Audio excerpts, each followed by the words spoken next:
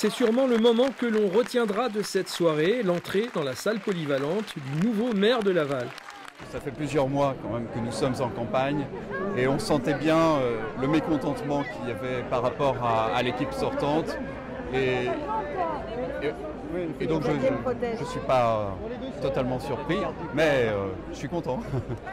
Congratulations, émotions pour beaucoup, dont un fidèle de François Daubert, qui fut même maire de Laval pendant un an. Bravo, ils ont fait une très bonne équipe, une équipe rajeunie et tout. Je suis vraiment très très content.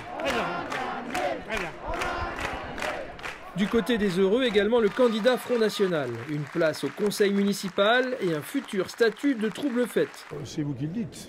Hein, disons que je vais présenter les choses d'une manière peut-être un peu plus détonnante que ne l'aurait proposé un, un conseiller municipal d'une autre tendance. Voilà. Ça va?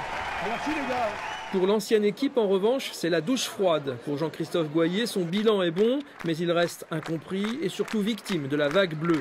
On s'est battu pendant six ans, sans relâche, du matin jusqu'au soir, et, encore pendant cette semaine, parce qu'on voilà, s'est dit qu'il il était important pour nous d'aller euh, dire la vérité aux Lavallois, de leur expliquer euh, les enjeux pour euh, Laval demain. Donc maintenant, je souhaite bon courage à Françoise Oqueto et j'espère que pendant six ans, Laval avancera. Quant au discours de Françoise Oqueto, il s'est voulu rassembleur à l'attention de tous les Lavallois, à l'image du personnage.